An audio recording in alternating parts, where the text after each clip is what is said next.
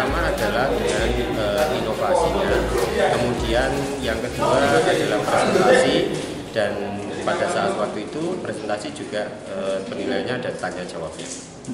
Pak ke depan setelah eh, meraih ke juara ini apa tantangan atau mungkin persiapan seperti apa untuk lomba berikutnya Pak? Eh, untuk lomba berikutnya, insya Allah akan nan- nanti akan kita kembangkan eh, baik dari seperti helm atau smart ini yang nanti mungkin bisa kita lengkapi menjadi satu contoh seperti seperti helm itu nanti akan kita lengkapi dengan adanya GPS.